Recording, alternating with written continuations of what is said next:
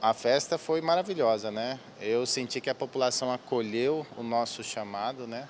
Nós fizemos uma grande divulgação, toda a equipe organizadora, e a população de Alto Garças compareceu, não só de Alto Garças, mas do estado de Goiás, aqui do estado de Mato Grosso, das cidades próximas aqui, né? O pessoal veio em massa, em peso para cá mesmo.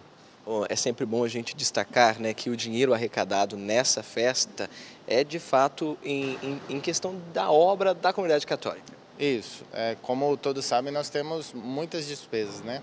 Não só em questão de construção, mas a própria manutenção de toda a estrutura que nós temos, né?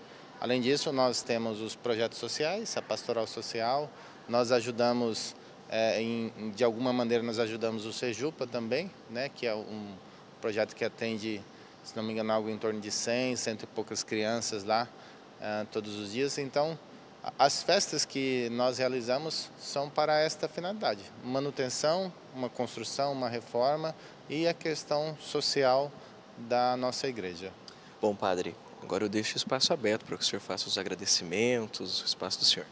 Bom, então eu quero agradecer a toda a população de Alto Garças que nos ajudou, compareceu, esteve presente, todos os nossos patrocinadores, né, os nossos colaboradores, desde as, as grandes empresas que nos ajudaram até as, a cada pessoa que esteve aqui, que serviu, que doou seu tempo, que serviu na churrasqueira, no bar, que serviu na cozinha, esteve aqui no leilão, na pista, o pessoal que veio de fora.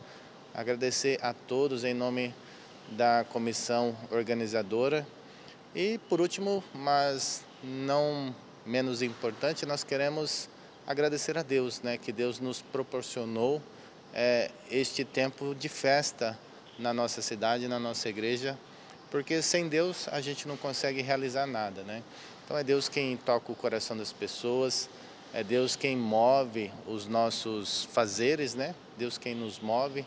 Então agradecer a Deus, porque é o nosso Pai, o nosso Senhor, e sem Ele nós não somos nada.